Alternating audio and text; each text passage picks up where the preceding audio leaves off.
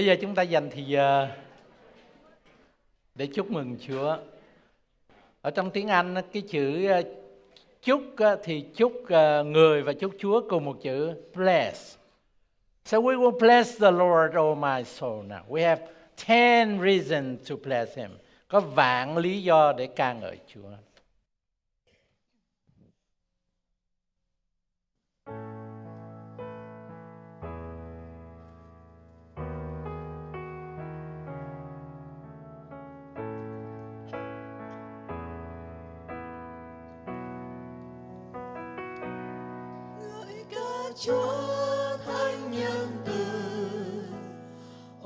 Chúa tôi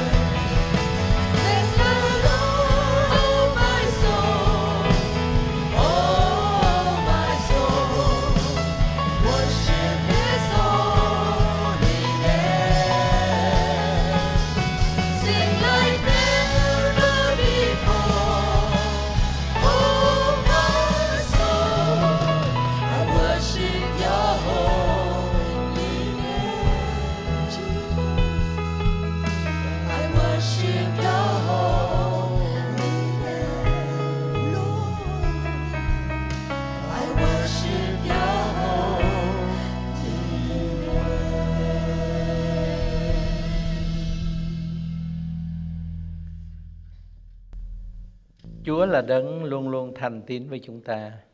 Và điều mà chúng ta cần dâng lên cho Chúa là tấm lòng của chúng ta.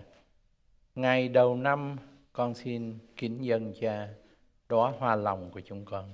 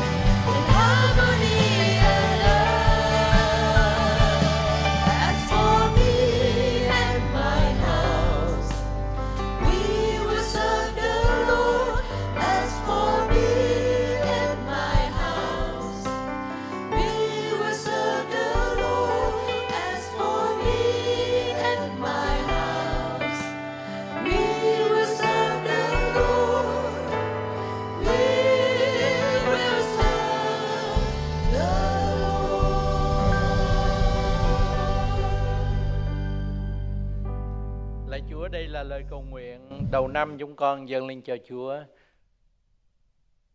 Chúng con và cả gia đình chúng con nguyện tôn thờ Chúa suốt cả cuộc đời chúng con. Trong danh của Chúa Giêsu Christ. Amen. tôi nghe lòng mình ngạc nhiên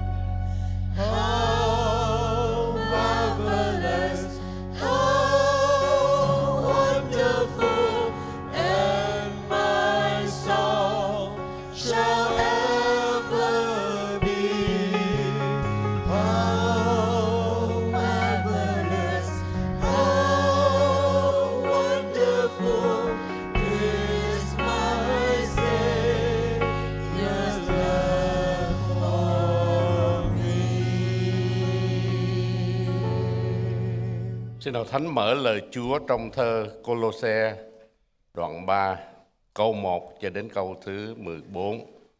Thơ Colosse đoạn 3 Vậy, nếu anh em được sống lại với Đấng Christ, hãy tìm các sự ở trên trời là nơi Đấng Christ ngồi bên hữu Đức Chúa Trời. Hãy ham mến các sự ở trên trời, đừng ham mến các sự ở dưới đất. Vì anh em đã chết, sự sống mình đã giấu với Đấng Christ trong Đức Chúa Trời. Khi nào Đấng Christ là sự sống của anh em sẽ hiện ra, bây giờ anh em cũng sẽ hiện ra với Ngài trong sự vinh hiển. Vậy, hãy làm chết các chi thể của anh em ở nơi hạ giới, tức là tà dâm, ô huế, tình dục, ham muốn xấu xa, tham lam, tham lam chẳng khác gì thờ hình tượng. Bởi những sự ấy, cơn giận của Đức Trời giáng trên các con không vân phục. Lúc trước anh em sống trong những nết xấu đó và ăn ở như vậy, nhưng bây giờ anh em nên trừ bỏ hết mọi sự đó, tức là sự thạnh nộ, buồn giận và hung ác.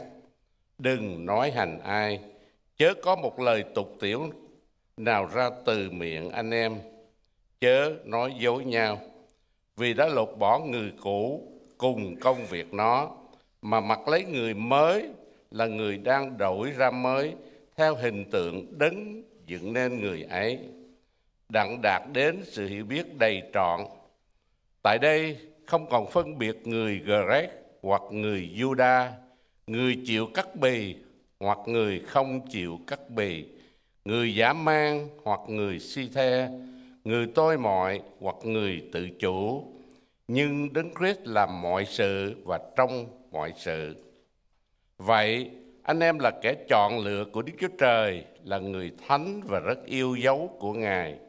Hãy có lòng thương xót, hãy mặc lấy sự nhân từ, khiêm nhường, mềm mại, nhịn nhục. Nếu một người trong anh em có sự gì phàn nàn với kẻ khác, thì hãy nhường nhịn nhau và tha thứ nhau, như Chúa đã tha thứ anh em thế nào thì anh em cũng phải tha thứ thể ấy. Nhưng trên hết mọi sự đó, phải mặc lấy lòng yêu thương vì là dây liên lạc của sự trọn lành.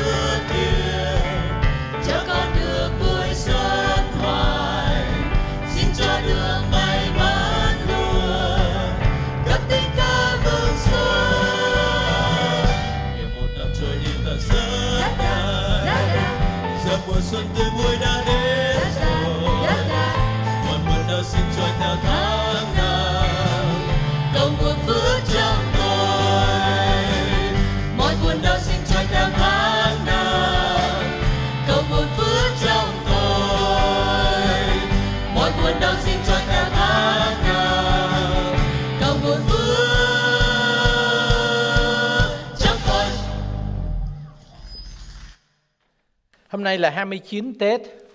Theo âm lịch thì hôm nay chưa phải là Tết. Tuy nhiên đợi đến tuần sau thì đã qua Tết rồi nên hội thánh chúng ta ăn Tết hôm nay.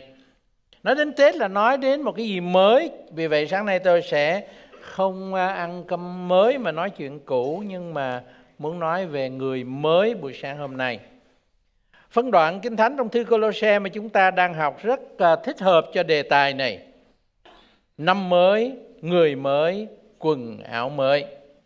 Chúng ta sẽ trả lời hai câu hỏi sau đây dựa vào phân đoạn Kinh Thánh ở Colosse chương 3. Người mới là ai và người mới làm gì? Chúng ta cùng hướng lòng về Chúa để cầu nguyện. Cảm ơn Chúa đã ban cho chúng con lời của Chúa. Cảm ơn Chúa vì chúng con được bước vào một năm mới. Xin Chúa dạy chúng con qua lời của Chúa để chúng con sống thích hợp với người mới trong năm mới này. Chúng con cảm ơn Ngài. Trong danh Chúa Giêsu Christ. Amen. Theo Colosse đoạn 3 câu 1 đến câu 4 mà chúng ta vừa nghe, thì người mới là người có những đặc tính sau đây. Quý vị có tờ giang bài xin ghi xuống. Bốn điều của người mới được ghi ở trong Colosse đoạn 3. Trước hết đó là người được sống lại với Đấng Christ, được sống lại với Đấng Christ. Vậy nếu anh em được sống lại với Đấng Christ, hãy tìm các sự ở trên trời là nơi Đấng Christ ngồi bên hữu Đức Chúa Trời. Được sống lại với Đấng Christ nghĩa là thế nào? Trước đó ở trong Colosse đoạn 2 câu thứ 12 sứ đồ Phaolô viết như thế này: Anh em đã bởi phép bắp tem được chôn với Ngài thì cũng được sống lại với Ngài bởi đức tin trong quyền phép của Đức Chúa Trời. Theo câu kinh thánh này, khi một người tin Chúa và nhận thánh lễ báp tem, người ấy được kể như chết và chôn đời sống cũ và khi ra khỏi nước người ấy được sống lại với được với đời sống mới. Tương tự như việc Chúa Giêsu đã chịu chết và sống lại. Được sống lại với Đấng Christ là như vậy, là chết đời sống cũ và sống đời sống mới như Chúa Giêsu cũng đã chết và sống lại. Phaolô bắt đầu phần kinh thánh này với chữ nếu. Vậy nếu anh em được sống lại với Đấng Christ, thật ra cái chữ nếu đây không có nghĩa giả sử hay là giả định hay là điều kiện nếu mà thế này nếu mà thế kia. Nhưng mà ở trong cái à, kết cấu uh, cấu trúc văn phạm ở trong nguyên văn đó cái chữ chữ nếu ở đây có nghĩa là vì. Vì anh em được sống lại với đấng Christ chắc chắn điều đó đã xảy ra rồi. Một số bản dịch đã dùng chữ vì để dịch câu này. Vì anh em đã được sống lại với đấng Christ nên cái điều đầu tiên chúng ta học buổi sáng hôm nay là quý vị và tôi là những người đã tin nhận Chúa là những người đã được sống lại với Đấng Christ. Chúng ta đã được với sống, sống lại với Đấng Christ rồi, đã sống trong đời sống mới rồi. Vì anh em đã được sống lại với Đấng Christ rồi, đây là tiền đề cho chúng ta sống đời sống mới. Quý vị và tôi sống đời sống mới là bởi vì chúng ta đã được sống lại với Đấng Christ. Quý vị có nhớ điều đó không? Quý vị có biết điều đó không? Chúng ta đã được sống lại với Đấng Christ rồi vì đã có đời sống mới rồi. Đây là cách mà chúng ta phải sống. Được sống lại với Đấng Christ rồi, đã có đời sống mới rồi thì chúng ta làm gì? Điều thứ hai, Phaolô mô tả người mới là tìm các sự ở trên trời. Vậy nếu anh em được sống lại với Đấng Christ, hãy tìm các sự ở trên trời. Tìm là đeo đuổi, là tìm kiếm, là chạy theo một điều gì đó. Quý vị đang đeo đuổi, đang tìm kiếm, đang chạy theo điều gì ở trên đời này? Danh vọng, tiền tài, chức tước, lạc thú cá nhân. Điều gì là ưu tiên số một ở trong đời sống của quý vị giờ này? Quý vị đang tìm điều gì? Cái chữ tìm ở trong câu này đồng nghĩa với chữ tìm kiếm ở trong Matthew đoạn 6 của 33. Nhưng trước hết hãy tìm kiếm nước Đức Chúa Trời. Lời Chúa dạy chúng ta trước hết hãy tìm kiếm nước Đức Chúa Trời. Nhưng mà chúng ta đang tìm điều gì? Ưu tiên số một của đời sống chúng ta là đeo đuổi tìm kiếm những điều thuộc về trời. Chúng ta vẫn sống, vẫn ở trên trần gian này. Nhưng mà cái ưu tiên của đời sống phải là những giá trị cao đẹp đời đời trên trời. Tại sao chúng ta phải tìm kiếm những điều gì thuộc về trời?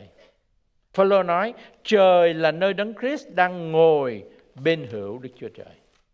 Trước đó Phaolô viết anh em được sống lại với Đấng Christ. Nếu chúng ta được sống lại với Chúa mà Chúa ở đâu? Chúa ở trên trời. Cho nên chúng ta phải hướng về nơi nào có Chúa. Thật ra vì chúng ta với Chúa là một cho nên thật ra trên một phương diện chúng ta đang ở trên trời. Chút nữa tôi sẽ nói thêm về vấn đề này. Vấn đề của chúng ta là phải đeo đuổi tìm kiếm những điều thuộc về trời thay vì những điều ở nơi trần tục này. Đây không phải là ăn cơm dưới đất nói chuyện trên trời. Nhưng đây là lời dạy chúng ta phải sống hướng thượng. Phải biết điều nào là cao quý, điều nào là có giá trị để hướng về đó mà sống. Quý vị đang sống như thế nào? Đang hướng thượng hay hướng gì về những điều gì ở trên trần gian này?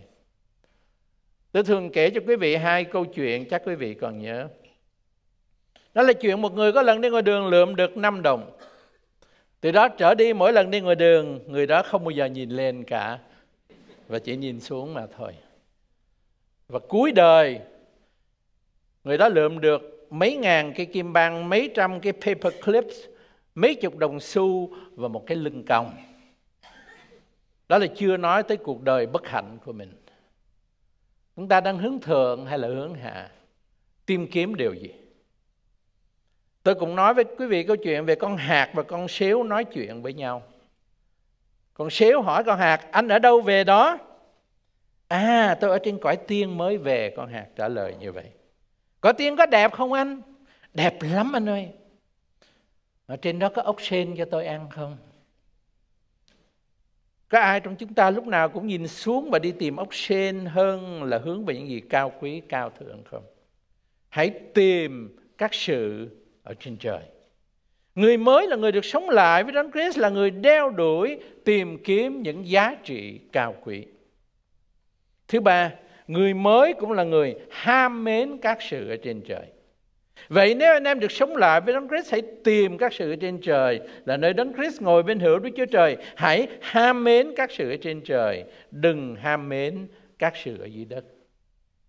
Để có thể đeo đuổi tìm kiếm những điều ở trên trời, chúng ta phải ham mến những điều đó. Mình thích cái điều gì, mình ham cái điều gì thì mình sẽ hướng lòng về đó. Cái chữ ham mến ở đây trong nguyên văn là chú tâm, là suy nghĩ đến, là tập trung tư tưởng vào. Bạn hiểu đến dịch câu này là hãy chú tâm vào những điều ở trên trời, đừng chú tâm đến những điều ở dưới đất. Chúng ta đang chú tâm vào đâu? Khi chúng ta yêu thích một điều gì chúng ta sẽ chú tâm vào đó đi đông cũng chỉ thấy chừng đó thôi. Quý vị đang ham mến điều gì nhất trên trần gian này? Quý vị đang chú tâm vào điều gì nhất? Để có thể chú tâm vào những điều cao thượng, tốt đẹp, sứ đồ Phaolô cho chúng ta một bí quyết. Nói đúng hơn, sứ đồ nhắc cho chúng ta nhớ chúng ta là ai. Khi mình biết mình là ai, mình sẽ sống với cái con người, xử sự đúng với cái con người đó. Chúng ta là ai? Chúng ta là những con người được liên hiệp với Đấng Christ. Đó là điểm thứ tư tại đây. Người mới là người được liên hiệp với Đấng Christ. Liên hiệp với Đấng Christ là một giáo lý vô cùng quan trọng ở trong đời sống của người tin Chúa. Giáo lý liên hiệp với Đấng Christ tiềm tàng trong những câu kinh thánh mà chúng ta học sáng nay. Quý vị để ý xem, bắt đầu Phaolô nói anh em được sống lại với Đấng Christ. Rồi ông nói sự sống mình đã giấu với Đấng Christ. Phaolô cũng nói Đấng Christ là sự sống của anh em và anh em cũng sẽ hiện ra với Ngài. Quý vị thấy có những chữ với đó không? Được sống lại với Đấng Christ, sự sống mình đã giấu với Đấng Christ, anh em sẽ hiện ra với Ngài. Thưa quý vị, liên hiệp với Chúa là như vậy. Union with Christ, liên kết với Chúa là chúng ta hòa làm một với Chúa. Chúa chết chúng ta cũng chết, Chúa sống lại chúng ta cũng sống lại. Chúa về trời, lòng của chúng ta phải hướng về trời. Để tôi nói điều này cho quý vị rõ. Quý vị và tôi tất cả chúng ta đều được Chúa cứu, có phải như vậy không? Nhưng được cứu là thế nào? Sự cứu rỗi của chúng ta bao gồm những điều gì? Có bốn điều tôi à, ghi xuống trong tờ giảng bài, quý vị theo dõi. Được cứu là thế nào? Chúng ta thường chỉ nghĩ được cứu là được tha tội và được về thiên tàng sau khi qua đời, đúng như vậy. Nhưng sự cứu rỗi chúng ta bao gồm những cái khía cạnh sau đây. Cũng chỉ là cứu rỗi nhưng mà đây là những cái khía cạnh khác nhau của sự cứu rỗi tất cả chúng ta đều biết um, kim cương hột xoàn rất là quý. Mà những viên kim cương để thường nó không có gì quý hết. Nó phải được cắt. Và cái viên kim cương nó quý là nó nhờ cắt của những cái viên kim cương đó quý vị biết rõ. Kim cương thô chưa cắt thì người ta không thể thấy được vẻ đẹp tuyệt vời của nó. Cái sự cứu rỗi của chúng ta cũng vậy. Chúng ta phải nhìn rõ những cái khía cạnh của sự cứu rỗi để thấy cái vẻ đẹp cái đầy đủ của sự cứu rỗi chúng ta. Trước hết, sự cứu rỗi mang ý nghĩa thay đổi hay là tái sinh, regeneration. Khi quý vị và tôi tin Chúa, chúng ta được sinh lại, được tái sinh. Đó là điều mà Chúa làm cho cuộc đời của chúng ta. Chúng ta được thay đổi hoàn toàn từ trong gốc rễ. Tin Chúa không phải là theo đạo, nhưng mà tin Chúa là được tái sinh, được Chúa biến đổi cuộc đời của mình. Thứ nhì, cứu rỗi cũng mang ý nghĩa tha thứ đây không phải là cái tha thứ nhỏ mà là tha thứ vĩ đại. Đó là cái án tử hình mà bây giờ được kể là vô tội. Và kinh thánh gọi đó là việc xưng công chính justification. Chúng ta là tội nhân đáng chết mất, nhưng mà chúa, đức chúa trời là quan án công bình tha thứ cho chúng ta qua cái chết thay thế của Chúa Giêsu trên thập tự giá. Chúng ta là có tội, bây giờ Chúa kể chúng ta là vô tội, justification, justify chúng ta kể chúng ta là công chính, tha tội là như vậy. Đây là, là danh từ pháp lý, danh từ của tòa án. Đức Chúa Trời là quan án công chính tha tội cho chúng ta dựa trên cái chết thay thế của Chúa Giêsu. Như vậy sự cứu rỗi trước hết mang ý nghĩa thay đổi regeneration, tái sinh. Thứ nhì mang ý nghĩa xưng công chính. Thứ ba sự cứu rỗi mang tính cách thánh hóa chúng ta đã học. Khi chúng ta tin Chúa chúng ta trở thành thánh nhân. Mỗi chúng ta là một ông thánh ở trước mặt Chúa, bà thánh ở trước mặt Chúa. Thánh trong ý nghĩa là chúng ta biệt riêng ra khỏi trần gian này. Thánh hóa như tôi đã nói, chúng ta có cái địa vị nên thánh khi tin Chúa chúng ta đã được đã được là thánh rồi. Và cho đến khi chúng ta gặp Chúa chúng ta sẽ tiếp tục được nên thánh. Đó là giáo lý nên thánh hay là thánh hóa sanctification. Như vậy được cứu có nghĩa là tái sinh, được sinh công chính, là được thánh hóa, cũng là cứu rỗi cả nhưng chúng ta nhìn vào những cái khía cạnh khác nhau. Và khía cạnh thứ tư rất là quan trọng là chúng ta được liên hiệp với Đấng Christ, union with Christ. Và đó là điều chúng ta học hôm nay. Thì tin Chúa chúng ta có sự sống của Chúa. Sự sống của Chúa tràn vào đời sống của chúng ta như nhánh nho trong cây nho mà Chúa Giêsu đã dạy. Đây là một cái liên kết mầu nhiệm mà chỉ người tin Chúa thật sự mới kinh nghiệm.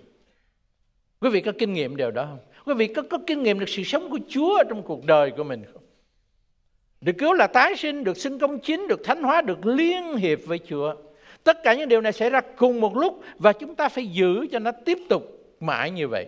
Và thư Colosse sứ đồ Phaolô viết để nhắc cho họ nhớ như vậy. Và buổi sáng hôm nay chúng ta cũng cần được nhắc cho chúng ta nhớ như vậy. Bài học của chúng ta hôm nay là bài học người mới. Và người mới là có người được liên kết với Chúa Giêsu. Sự sống của Chúa là sự sống của chúng ta. Chúng ta phải sống đời sống đó. Nó đúng hơn chúng ta tự nhiên sống đời sống đó. Nếu không tự nhiên thì cần phải xét lại đức tin của mình. Không phải là nghi ngờ, nhưng xác định lại, làm mới lại, renew it. Giấy tờ chúng ta vài ba năm là phải renew.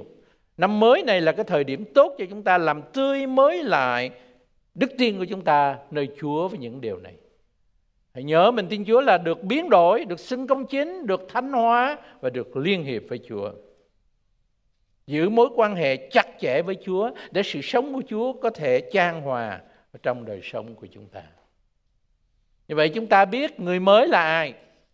Mới là người được sống lại với Đấng Christ, là người tìm các sự ở trên trời, ham mến các sự ở trên trời, là người liên hiệp với Chúa, liên kết với Chúa. Sau khi biết rõ người mới là ai, chúng ta sẽ sống với đời sống của người mới. Người mới làm gì? Sứ đồ Phaolô kể ra bốn điều mà người mới phải làm. Thứ nhất là phải làm chết chi thể nơi hạ giới. Phải làm chết chi thể nơi hạ giới trong câu 5. Vậy hãy làm chết các chi thể của anh em ở nơi hạ giới. Chi thể ở nơi hạ giới là cái gì mà mình phải làm cho nó chết? Bản hiệu đính dịch những chữ chi thể nơi hạ giới là dục vọng trần tục. dục vọng trần tục worldly desire đúng vậy, mỗi chúng ta dù đã được cứu, nhưng chúng ta vẫn còn sống trong thân xác yếu đuối này chúng ta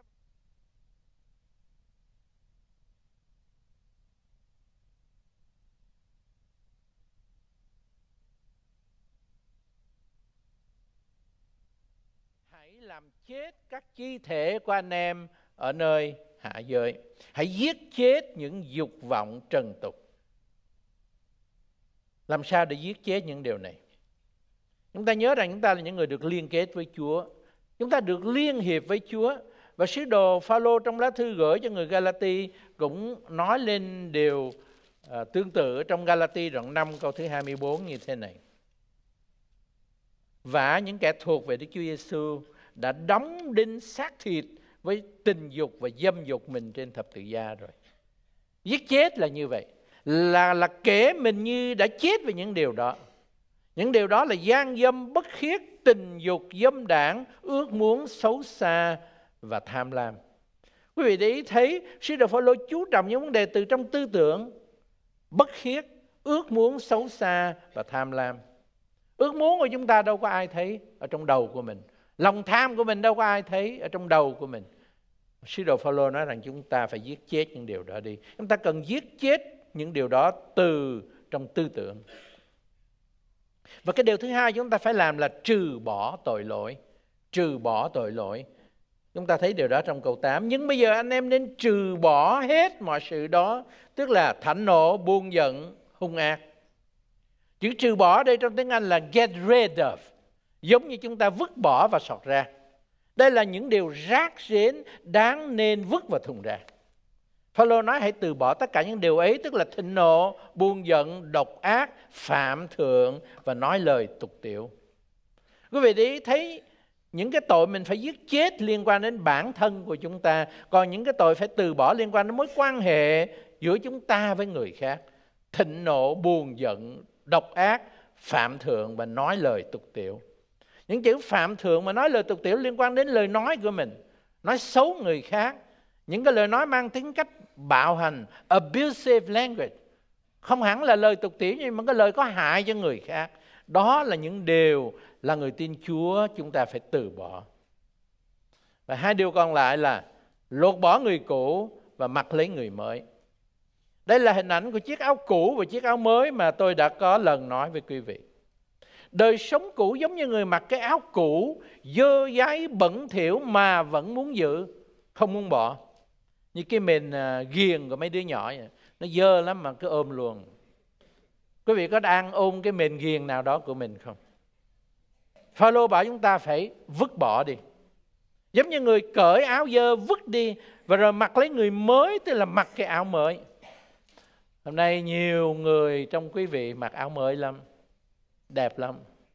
Nhưng mà có mặc chiếc áo mới tâm linh cho cuộc đời của mình chưa? Kinh Thánh bảo chúng ta mặc điều gì? Phaolô viết trong câu 12 đến câu 14. Vậy anh em là kẻ chọn lựa của Đức Chúa Trời là người thánh và rất yêu dấu của Ngài. Hãy mặc lấy sự nhân từ, khiêm nhường, mềm mại, nhịn nhục. Trên hết phải mặc lấy lòng yêu thương. Mặc lấy nhân từ, mặc lấy sự nhịn nhục, mặc lấy sự yêu thương. Những chữ này tự nó đầy đủ ý nghĩa rồi. Mình hãy tự hỏi chính mình rằng tôi có nhân từ không? Tôi có sẵn sàng tha thứ người khác không? Tôi có mềm mại không? Tôi có nhịn nhục không? Không ai muốn mặc đồ cũ ở trong ngày Tết mà rất có thể chúng ta đang giữ những chiếc áo cũ của cuộc đời. Ngày Tết là ngày ai cũng mặc áo mới. Hôm nay ăn Tết mừng xuân tôi đề nghị quý vị hãy vứt bỏ đồ cũ đi và mặc vào chiếc áo mới. Tú Sương ngày xưa nói như thế này, khéo bảo nhau rằng mới với me, bảo nhau rằng cũ chẳng ai nghe. Tôi hy vọng là quý vị cũng đồng ý như vậy. Đừng nghe chuyện cũ, đừng làm chuyện cũ, đừng mặc áo cũ. Mà hãy mặc lấy chiếc áo mới cho mình. Tựa đề của bài giảng hôm nay là gì? Năm mới. Chúng ta đã ở trong năm mới. Người mới. Quý vị là người mới. Quý vị có mặc quần áo mới chưa? Chúng ta bước qua năm mới là người mới, chúng ta phải mặc quần áo mới của Chúa ban cho chúng ta. Kính lại Đức Chúa Trời là cha rất yêu thương của chúng con. Chúng con cảm ơn Chúa vì được đón mùa xuân giữa thời tiết không phải là thời tiết của mùa xuân, nhưng con biết rằng niềm vui của mùa xuân đang hiện diện với chúng con bởi vì chính Chúa đang hiện diện với chúng con. Con tạ ơn Chúa về tất cả mọi điều và con à, cầu xin Chúa ban phước trên thì giờ còn lại trong à, thì giờ sinh hoạt hôm nay để mỗi chúng con được tận hưởng mùa xuân mà Chúa ban cho chúng con. Con cầu nguyện xin Chúa chúc phước trên thức ăn trên mà chúng con sẽ nhận lãnh và xin Chúa cũng ban ơn thêm sức lại cho tất cả quý ông bà anh chị đã chuẩn bị thức ăn cho chúng con cũng như chuẩn bị cho chương trình sinh hoạt trong buổi trưa hôm nay. Chúng con tạ ơn Chúa vô cùng. Con xin tình yêu đời đời từ nơi Đức Chúa Cha, ân sủng vô biên từ nơi Chúa cứu thế Giêsu và sự đồng hành của Chúa Thánh Linh ở với hội thánh của Ngài từ nay cho đến ngày Chúa Giêsu trở lại. Amen. Người quanh ta đang chờ mong sống trong tình thương, nhờ tình thương